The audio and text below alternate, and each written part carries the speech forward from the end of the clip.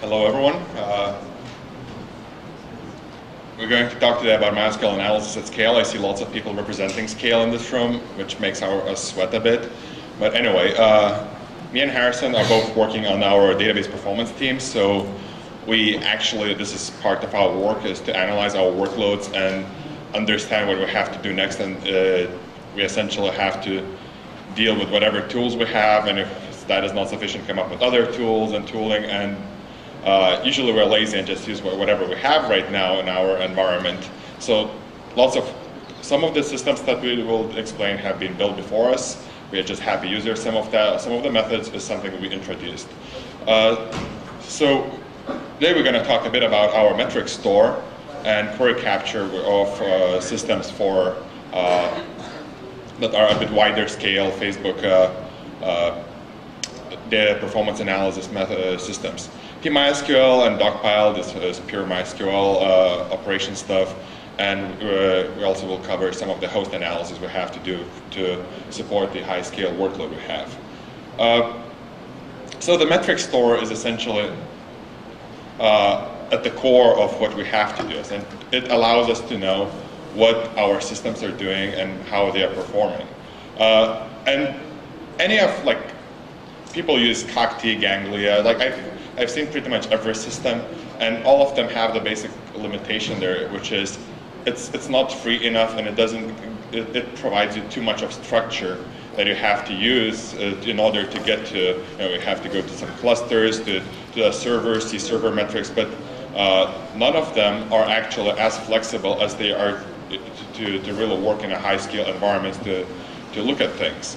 And uh, the, uh, the, the system we have in place right now that uh, collects the data is something that is based on a really simple concept of there are entities, entities have keys, and, uh, you know, and, and those keys have values over time. It's a, a really, really basic time series store design.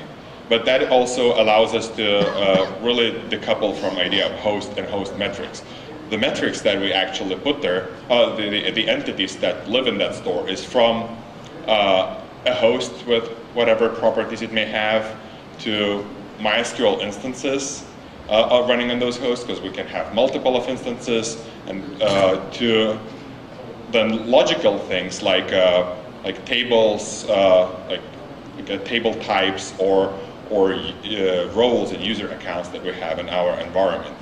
Uh, so essentially, just type the the way we can put that in is every script that is reporting metric is just providing a free form, uh, uh, well, usually dotted, some hierarchical notation, but it doesn't mean anything.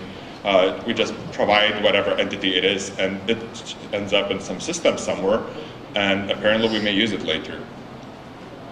And metrics that we can actually put, like we, usually those are of course numbers, lots of numbers, but the, the scope of, of things we have, we, we are putting there because our uh, entities are flexible. The keys, again, we, we have every tier may define their own idea of what they want to monitor, so we, we don't put, uh, we don't use any kind of like real templating. It's like we, we have a hierarchical uh, setup of what, what things and how we, uh, what metrics we can collect, and it's, it's both pull and push. So we, we get to, uh, from load network to uh, operations, and we add even things like TCP socket overflows or or of course bytes sent, bytes received, to disk I/O for each partition or, or device, uh, queue sizes on I/O uh, devices individually, to and of course the basic things like CPU, which is usually at the core of say Ganglia. We we don't doesn't matter as much to us, but it's there. For MySQL, that also like the show status gives us lots of metrics. Lots of them go into the metric store. Like I said, we don't know what we will use. It's not we we don't really have like said like this is the MySQL server and these are the metrics you will be looking at. We try to send as much of them as possible to be able to look at that later. And of course, replication for, for you know, lag and again, relay log transfer information, bin log information, how much we write, how much we read, and uh, the, the all, all, the basics, of course, like threads running or, or connected and table cache. We don't have query cache metrics in our data store though. Uh, for InnoDB, that is like we, our core storage is InnoDB, and we, we get to we, we have to instrument MySQL to export more of those metrics because you know more metrics and metrics stored, more usable it may be. Uh, of course, row operations is one of the core things to look at. One of the favorite metrics that we also have, like buffer pool accesses, which also provides more insight into logical operations that InnoDB has to, uh, the like low-level logical operations that InnoDB has to do in order to uh, service uh, what it has to, besides just fetching a row from it. It's like what it has to do to get the row. Uh, history list length, uh, Mark already mentioned, purge was an issue. We had to manage that, and lots of, of the work we had to do was uh, it was like uh, we, we had to look at certain things like like these internals of in, InnoDB all the time. I/O operations is one of the major cost factor. Of course, it goes there. Besides that, it's like MySQL is not a single tenant on the box. You have to essentially monitor every other process that is out there, the resource usage, and uh, so we can detect uh, the impact of other operations and uh, other uh, things happening in our systems that live besides. Uh, so essentially, we, we send lots of things for every uh, host entity, and like it's it, or or table or or or or user and other stuff. So again, even more metrics come not directly from the host but from outside. We have like clients are actually submitting information about hosts they're talking to. Like the web, web boxes are sending information about our, our database machines, the system that aggregates and reports what are the res response times seen for particular machines from the client perspective, or connect time, or error rates. And uh, uh, the, logical part, the collection of uh, user statistics and table statistics is inevit inevitable at the, the huge environment. Uh, so of course, once we have all the data in our data store, the major thing is like, in, in many cases, uh, we don't want to look just the, at the aggregate load of the cluster because it doesn't tell much. There is a huge distribution of, uh, of, uh, of, of, the values and the machines can have different load patterns. So, of course, the major thing, what we have to do with that, uh, as they're like free-form entities, we have to group them somehow. Uh, grouping is relatively, like, there are two methods. One method is predefine an aggregation entity, so something you always look at uh, on a dashboard, like, you know, what is the, uh, there's a typo on the slide, what is, say, for the average uh, QPS on all the West Coast timeline servers. That is usually pre-aggregated grouping that we, we, we define in, in, our like, tier level. But also, it's an ad hoc grouping. It's like if we can, we, the system that we, we are supposed to use should allow us to query on based on essentially anything, like group us, uh, show us the servers that are running the yesterday's build, and uh, how are they performing? Are they doing less or more I/O against the other ones? And pre-aggregating all these these things would be a bit too complicated. So we uh, we, we have to support ad hoc querying, especially when it gets to uh, metrics that are uh, a bit uh, more complex. It's like calculating an average on an aggregation is easy. Calculating 99th percentile on arbitrary set of hosts is already a bit more complicated and requires data analysis. But if the system is capable of doing that, we are happy and we're using that a lot. Uh, trend analysis, again, is one of the things that in, a, in any, in, in, various systems, having an understanding against what happened uh, either yesterday or last week compared to what happened today, because pushes happen every week, we really have to understand what how, how it changed. So we end up having uh, more and more tools telling us what should what the, was the expected trend and uh, how do we actually look at uh, and how does it go against what is actually happening. And our most favorite feature is of course the top end graphs that we were talking a lot about is show me for any metric and any ad hoc group uh, hosts that have top 10 uh, average or max or maximum values or or highest percentile values so we can actually figure out what are the edge cases in our environment and, start working on them. Uh, the top end example essentially, this is the beautiful graph. We took away everything what is useful except some lines. Uh, so I, I, I, always like those, those lines in the middle. They, are essentially the high performance baseline we may have on any, in, for any metric.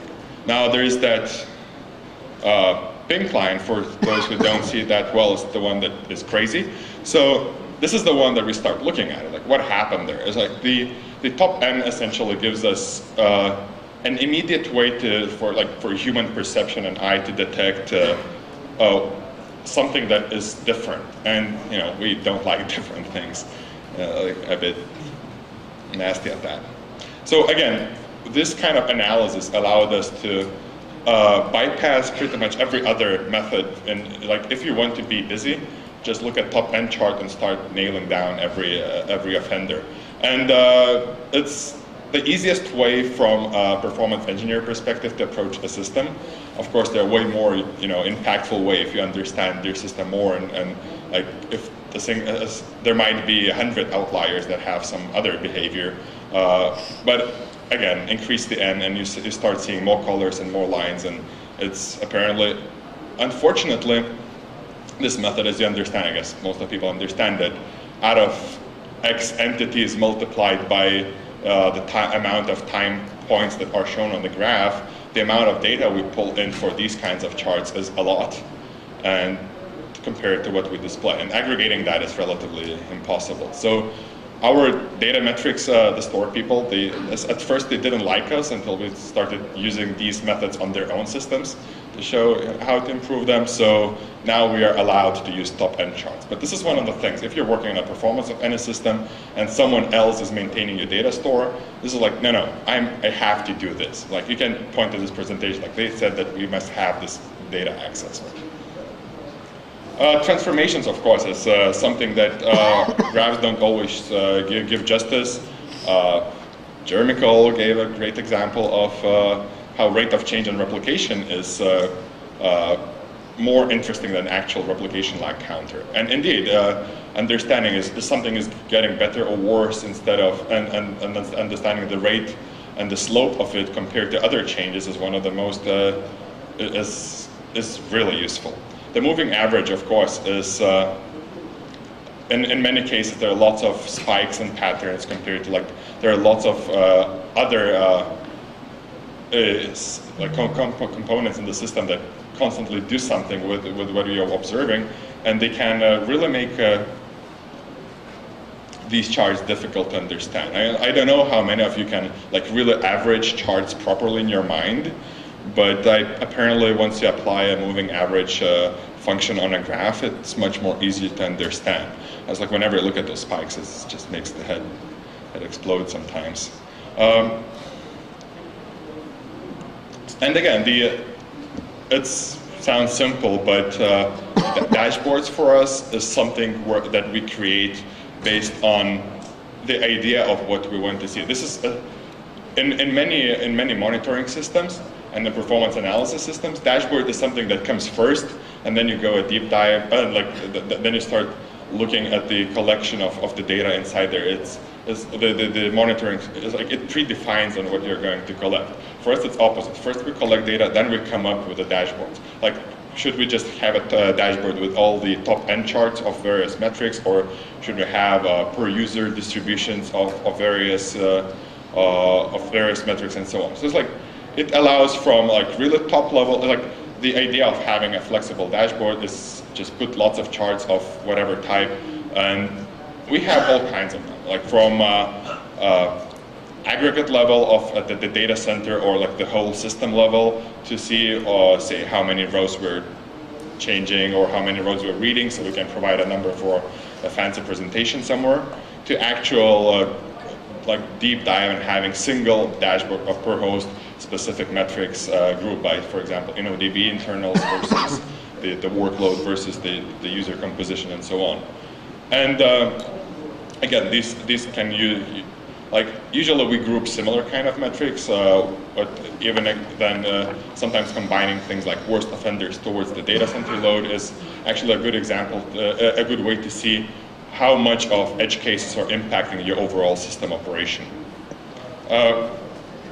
Uh, of course, we, you know, looking at those charts uh, doesn't always give us details about what is going on, and which, which is where we wrote something that is called PMySQL. PMySQL is a MySQL command line client that is uh, used for accessing clusters of servers. Uh, I don't have exact timings now, but I can say that, for example, for 1,000 servers, it can run a query in under 100 milliseconds.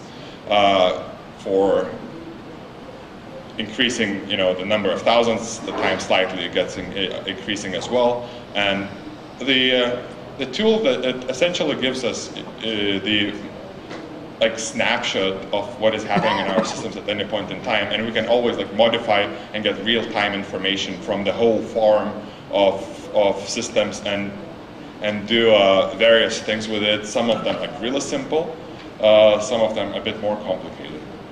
So one of the uh, we open sourced that in our MySQL Facebook uh, tools uh, package, and um, we built it to, to to be able to script on that as well. It's not a, a command line that is easiest to use and uh, for for like interactive uh, method method. It's it's really in, in, this case. I don't know if you can see well on the slide. the font is somewhat vertically challenged. Uh, something like go to all the servers and fetch the global status variable uh, which says the version is from yesterday and uh, show and the and the server has been started longer than a few hours ago and tell me what kind of replication lag it has and so on. It's like it's these are of course these lines are a bit longer. Apparently, if you have a 13 screen, it fits on a single line. Um, but the, these allow us to query all the servers at once and get the snapshot of uh, say replication lag for a certain condition of servers and getting that uh, out of uh, like more generalized uh, stores, of course, they, they would provide us with graphing, but in this case, we can get exact information on which service should be acted upon right now, and we, we can identify uh, problems uh, within a second or, or less. Uh, and of course, the most useful uh, think for, for that we, we use it all the time It's like everyone uh, who works on query performance essentially has an alias of one kind or another that does select from information schema process list uh, and searches by keyword or by time or, and uh, essentially provides us with poor man's query profiling. Uh, we can go on and build incredibly complicated uh, query analysis systems, but if we just by looking at snapshot, we get uh, of all the servers what are they, they are running. You know, if you look at 10,000 or 100,000 queries running at once, you immediately see, uh, can identify patterns in your workload and understand the costs because a running query is the one that is taking the resources. And the best part is that you, like, we can really go for ad hoc analysis of uh, what is going on and extracting uh, information from query comments. We can look at the data center composition. We can look at, for example, API, how much of uh, workload is being contributed by different API applications. How much is iPhone? How much is Android? How much is uh, uh, album viewing? How much is, it's like, we have some, quite a bit of that information in our query comments, and then we can use that for, from a global snapshot to give us pretty much immediate answers, like understanding of the API contribution right now to the cluster is just running a single command and getting a snapshot in under, under a second, for example. So these, these usages for us have been uh, uh, ability to do that and without too much of pain and like in really fast way have uh, have really taken taken away lots of time from the you know from from trying to get that information and given us much more time into trying to understand it. Then about some of the other systems Harrison is going to. Thank you, Domas. So um, I'm going to talk about a couple more systems that we have. Uh, the first one is something we call query capture. Uh, of course, it has some internal code name, but query capture is what we're going to call it. So basically, the idea is uh, Facebook uh, is a website primarily, um, accessed through lots of different ways, but uh, the general idea is we want to see what's going on uh, in our actual page views. So we have a system which is heavily sampled, uh, but basically we'll decide I'm going to record every single thing that happens on this page. So that'll be memcache requests, it'll be, uh, in our case, database requests, which are the ones we really care about for us. Um, and basically it'll capture uh, the entire interaction for that entire web page generation. So you know, if we had to talk to three databases and do these 10 queries or whatever the case might be, uh, it, will basically record that entire uh, snapshot uh, in that case. So for database queries, uh, one of the other things we capture with that is all these show session status uh, variables. So basically, uh, we do that command before and after every query, subtract some numbers, and we can see exactly what that query was doing. We get things like how many handler accesses it had, if it had to do sorting, uh, if it had to, uh, how many rows were examined versus returned. So we can find things like index usage based on that. Uh, we can say, okay, you know, it, uh, it had to read 1,000 rows, only returned three. So that shows us that that wasn't working very well. Uh, and all sorts of other information that you can see uh, from within the, these, these, these session status. In addition, it also records some metadata for the page request, so the page request itself, what page it was, uh, it'll record uh, various other information uh, about that page request, how long it took, uh, if it was API versus not, and so on. So here's an example of what uh, a request actually looks like. So uh, this is a request that is basically logged into there. Uh, kind of hard to read, but basically we can see that there was four queries. They took a total of 13.8 milliseconds for this page request. It connected to two databases, had two connections. So then it actually can give us a log of what they are. So these queries are normalized, and then you can actually like click on the query, and it'll show us, you know, all the different pages that request that. We can also view this based on a, on a page basis. So we can say, okay, uh, as has the number of requests for this particular page changed, or how many uh, its access time, all of those sorts of things. So basically, we're able to to take these snapshots and then slice and dice them in various different ways to basically find out, okay, uh, this page is a problem, this API call is very expensive. Um, uh, uh, this host is having problems and so on. And so it actually shows us a list of them there, uh, the duration, you know, all the different milliseconds they all took, all the different selects, and so on. So you can see I have the little colored bars, so we can't see host names, but you can see the, the, the connects and the select statements going to those. And so basically from this, we're able to find uh, all sorts of uh, problems. So what sorts of problems? Well, things like long-term trending of queries. So this query, you know, has been run for you know the last six months. Suddenly it became slower for some reason. Why? Well, maybe we added a new index and the optimizer decided to do something uh, uh, stupid that it really shouldn't be doing. Another useful thing is finding all access patterns for a table.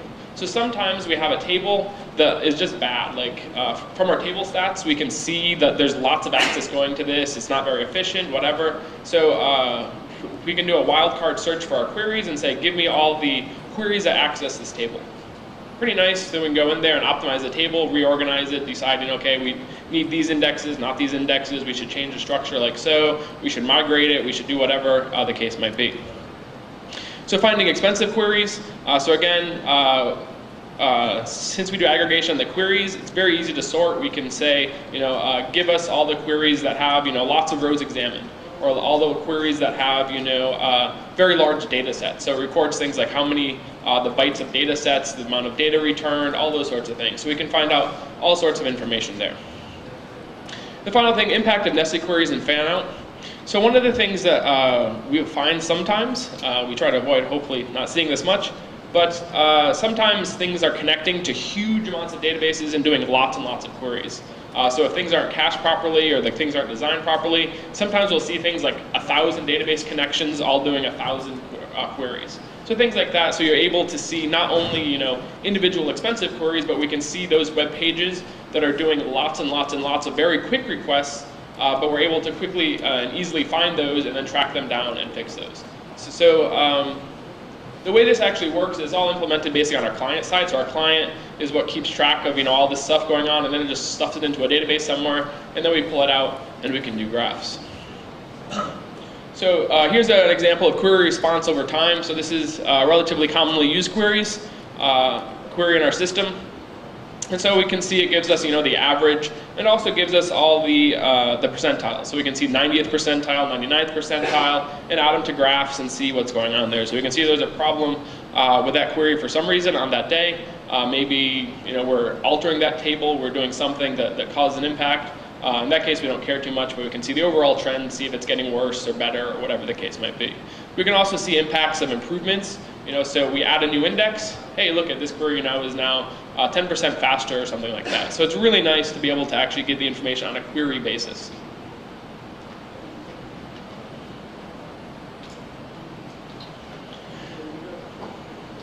So the next tool I want to talk about uh, is a tool that Domas uh, created called DogPileD. So what DogPileD does is it uh, produces dog piles. Uh, yeah. So uh, what is a dog pile? So basically, uh, a dog pile is when a MySQL server is backed up. It's, it's not looking good. Uh, it's a pile of poop. Um, and we want to basically figure out what's going on there. So it's similar to pt-stalk, uh, that's the open source you know, Percona tool, uh, but it's our incident time forensic tool chain. So whenever it notices a problem, a problem in our case, uh, it's uh, changeable, but in our case, it's if uh, there's uh, more than 200 threads running at any given time. So if we have 200 threads running, it then gathers a bunch of forensics. What sorts of forensics? Well, things like the immediate host history. So we have some processes that actually run and output information to a log file. So one of the problems with things like pt-stalk and so on, you can't get what happened immediately before the stall. So you know, it triggers and says, okay, we're at 200 uh, threads running, but what led up to that point? So what we actually have is we have things like IOStat that actually logs every second into a log file. So when a problem occurs, this actually grabs the last like 10, 15 lines of the IOStat log file, adds them into our forensic uh, uh, tool chain. So we basically can look and say, hey, right before this occurred, uh, uh, there was this um, stall on the disk I.O., there was some problem, whatever the case might be. It grabs, of course, lots of other common information, things like the transactions, you know, the actual statements running, uh, all those sorts of information. So the, the, the, big thing for us is the immediate host history, so we can see actually what led up to the stall, uh, not only what uh, is going on at exactly the time the stall occurs. So, so then, uh, so this runs on every database server. If, if this occurs, it gathers it up into a nice little tarball, ships it off to our central repository, which then actually even has real-time reporting to us. So it actually pings us on IRC and it says, hey, you know, I found a dog pile, whatever. Uh, you can go click on it to, to view it, to take a look at it. You can see overall uh, how many dog piles are occurring. Uh, sometimes, you know, if, if there's a lot of them going on, you know there's a system-wide event. Uh, it's very easy to see uh, uh, exactly what's going on with there. It also gives you historical views for hosts. So when you click on one, you can actually see, okay, this host has had 10 dog piles over the last day. There's something going wrong with it. And so you can then investigate and figure out uh, from there. So Dogpile-D, very, very good uh, tool that we use for figuring uh, out what's basically going on um, uh, in order to cause these stalls. Okay, so now the, the, the, tools we've talked about so far are for like finding problem hosts. So you get a dog pile, you see something from the dashboard, from the top end, whatever the case might be. We then have to go and try to figure out what's causing the problem. So then we have to figure out basically, is this you know a host-specific problem or is this one just an outlier? Is, is it a, a wider problem? Uh, and so on. So uh, some of the tools we use for finding out and looking at individual hosts. The first one I want to talk about is Slocket. Anyone here ever heard of Slocket? Like one person, great. So this is a feature we added to the MySQL uh, at Facebook branch of MySQL.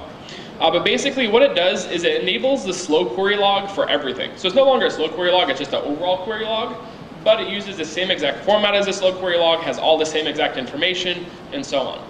So you can see exactly what's going on in the system. And the reason it's called Slocket is because rather than writing it to a log file, as you can imagine this would be a very huge log file, instead what it does, it actually writes it to a UDP, uh, UDP socket. So this will often be a local socket, but the idea there is that there's no blocking, no queuing at all on the actual MySQL server. So very, very, very low impact on the server, so we can enable this on our busiest servers, and the busiest servers continue doing their thing, very little impact. So we actually have a small Python script, so it is a little clunky to work with. You have to create a listener, and then you have to enable the slocket to point to that listener, and then you have to save it to a file, and blah, blah, blah. But there's a slocket stats.py, which basically runs, grabs that, and then it works just like uh, the Maatkit query digest, where basically analyzes and chunks apart this file, and will then spit out information for us. So this is very easy. We can see, okay, this query ran, you know, a thousand times over the last 10 seconds. Or uh, it'll also pull out things like IDs. So it'll be like, okay, you know, the, the, uh, this user ID, you know, was repeated 10,000 times in this file. Things like that. So it makes it very easy, gives us a, basically a snapshot of what's going on on the server at that exact point. We can then backtrace and figure out uh, uh, what exactly the problem is. You know, the Memcache server is broken or uh, something is causing this, this host to be overloaded. And so Slocket, really nice because of the low overhead and gives you a very comprehensive log where you can see all sorts of information about what's going on on the server. So next one we have is table stats.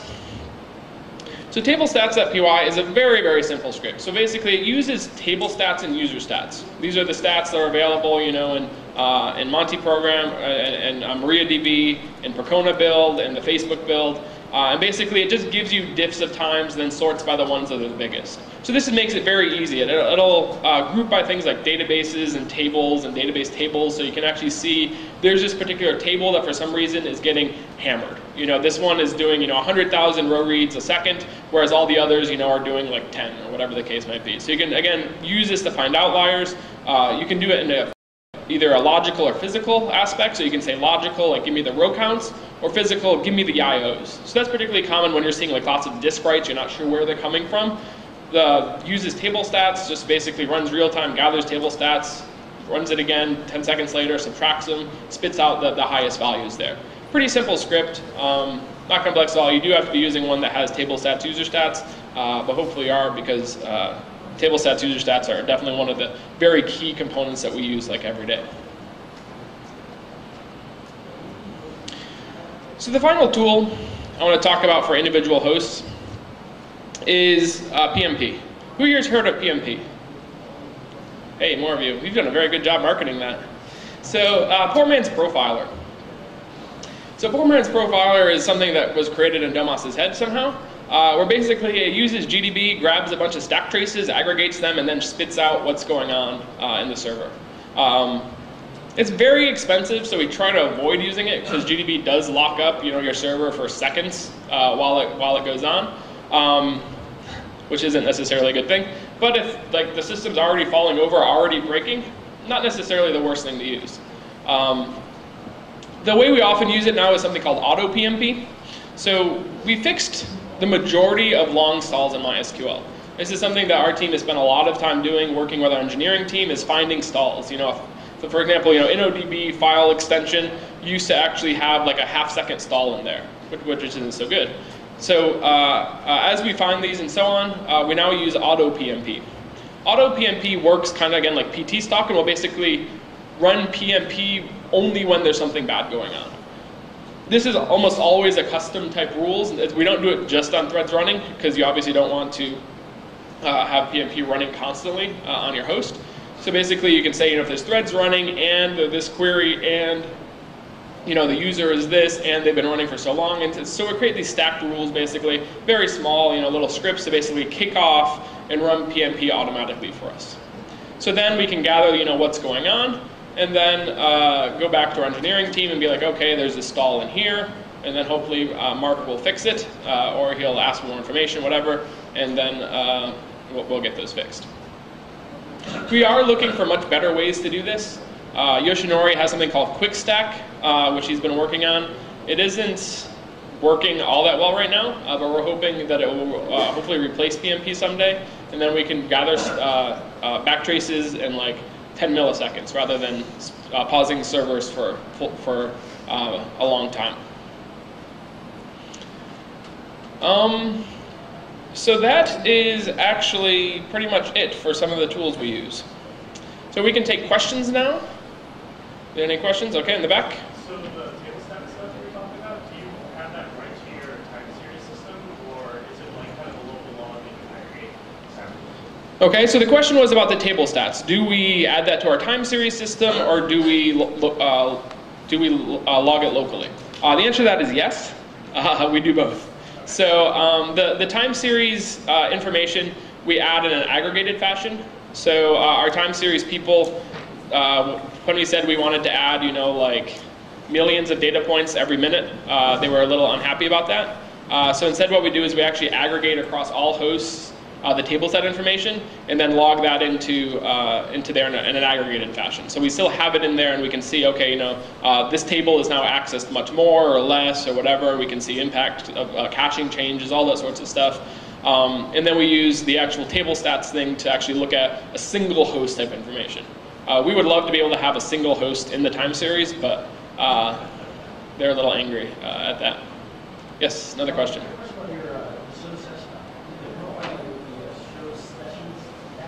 That is hard to say, yeah. But um, so the profile, is that something you have on to all? You turn on and off Okay, so the question was about the query capture and the, the show session status. Um, so the answer is it is on all the time, but it's heavily, heavily sampled. Uh, it's like one in a million web requests or something like that will do it. Because um, there's obviously overhead. You know, you have extra round trips to the database and so on, um, and you have to do this math and you have to log it somewhere else and whatnot. Um, so it, it's on all the time, but it isn't on all the time because it's very heavily sampled. In the front. All those tools that uh, Facebook developed uh, are only used by Proman in Facebook or can be used by Proman in the community? so the question is, the tools that we mentioned, uh, can they be used by only poor man at Facebook or can they be used by poor man uh, in the community as well? Um, we're working on open sourcing some of them. Uh, like, like PMySQL is open source. Uh, some of the others, like the query capture thing, unfortunately, it's so intertwined in our actual like web client code that it's probably not going to be open sourced. Uh, but, but, but some of the others, like the smaller ones, like PMySQL is open sourced, and we definitely want to open source more if we can. But a lot of them are just so intertwined into uh, Facebook-specific stuff, it's not really possible. Yes? Uh, how often do you collect your data, and how long do you store it for? All right, so the question is, how long do we collect data and store it for? I'll let you take that one, Domas, since that was...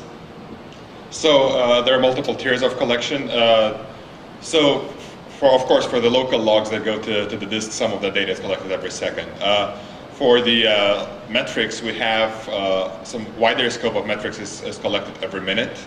And we have different retention uh, periods. So, so like host-specific metrics, they, we, we store them for a, a month or so uh, then the, some of the aggregations have like much longer storage. And of course, we don't store every every minute for our like yearly averages. Like it's uh, we have relatively uh, I mean, quite a lot of data points. We can look at, at, a snapshot of particular day or particular week without just having you know five data points with, uh, with not too much to look at. But uh, yeah amount of data we store is is relative like the retention for for some things is incredibly long. For hosts, it's usually just uh, one month.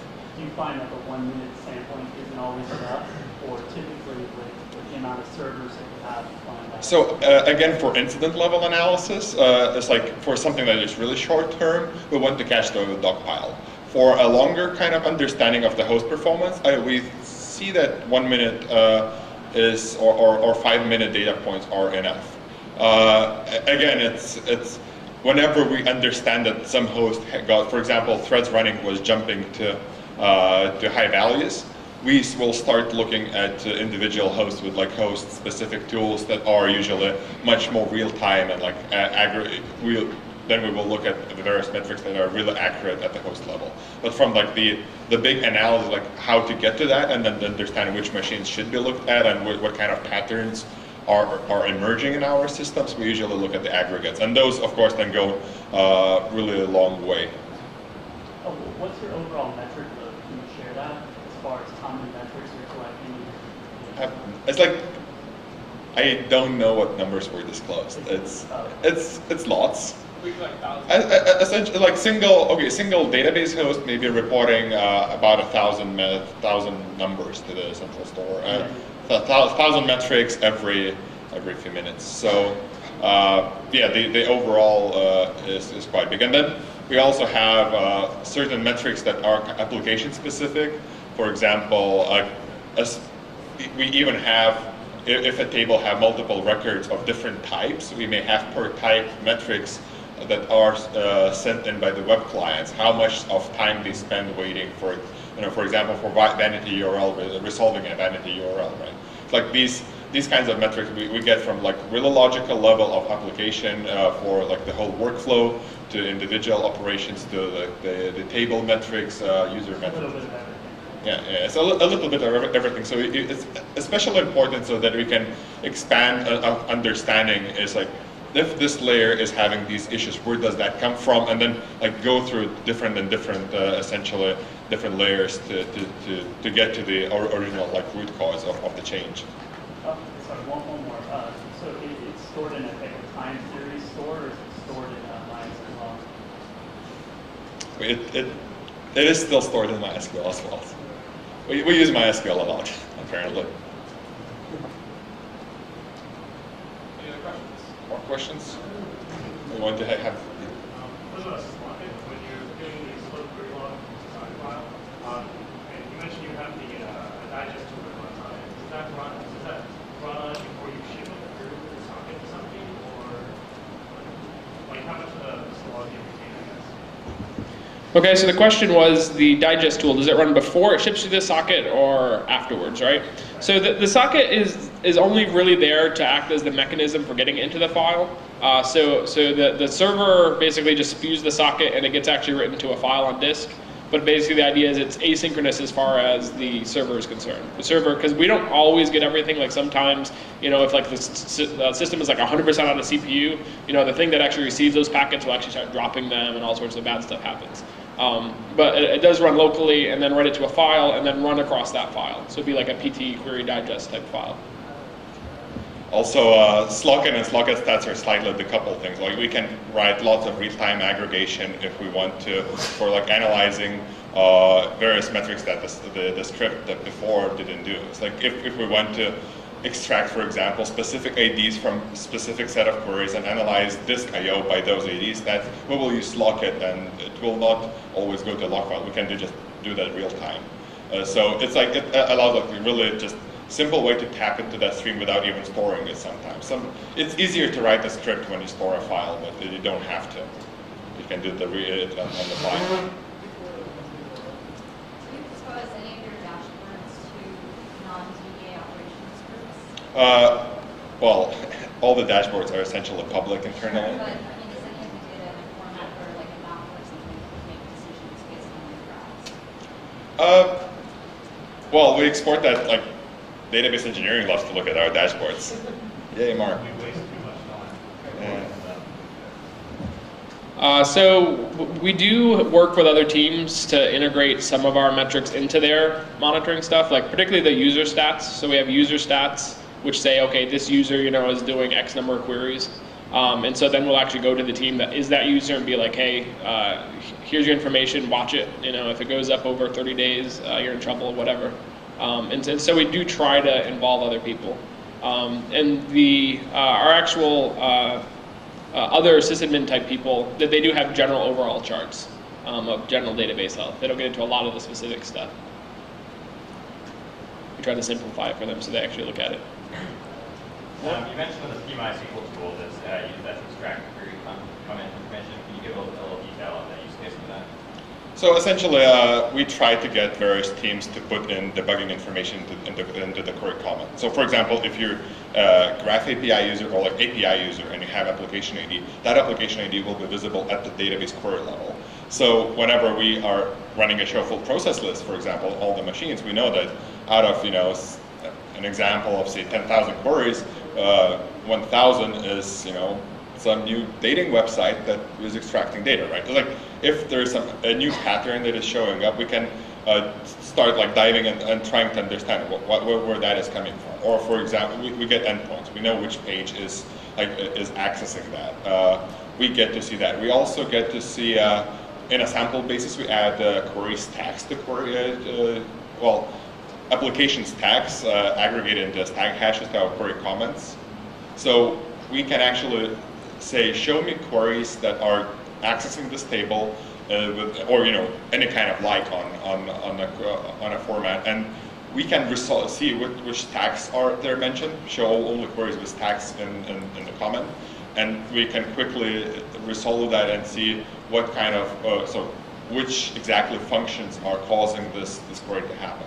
So it's like anything that can come up to your mind, like what logical stuff has to, to go in there, a, mo- a special module, a special entry point for that query, a special, you know, any local abstraction that, that provides uh, that provides that. If there's a symbolic name for it, you can put it into the query comment, and then essentially then you know it's, it's just parsing text. It's, it's awk or cut depends on you know when we talk to uh, but, uh, or Python or Perl or, or, or PHP. But it just gives gives the flexibility to, to do to see that at the, the snapshot view and from like the poor man's pers- perspective, like seeing the, the process list of all the servers at the same time is it's really really uh, easy and great way to understand what is going on. I mean, this is like the first, the 101 of MySQL performance is you tell the person to use show process list. The 101 of the cluster MySQL performance, you tell him to use the show global process, like global show process not show global. But yeah, it's, it's one of the major, major easy ways to, to immediately see what's going on.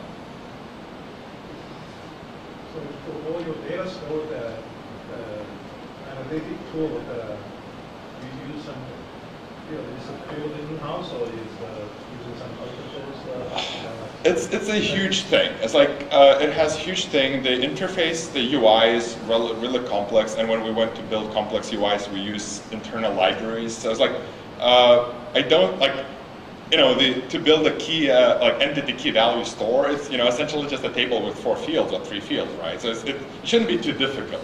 But actually, to get all the things into UI and the process to analyze, yes, it's, it, lots of internal things that rely on, on internal libraries and. Uh, uh, getting that open is complicated. I, you know, the, the way, the, why we talk about it is just to say that the, the approach we, we use to get to that data is, is like opposite. It's like collecting and looking at it are essentially two different things. Uh, it's, it's like, you know, people who collect that for us and build those tools, essentially, they're not the ones who are using those dashboards and creating those dashboards. We are uh, doing that ourselves from, from our perspective, how we see we should approach the system. Before we started, like, when we found the top N capability that and we started using that, I don't think any other group was using that at the time. It- we just so started at using that all the time, but it's, it's you know, one of those, yeah. The, the, the generalized data store is something that really helps you when, whenever you're dealing with large clusters.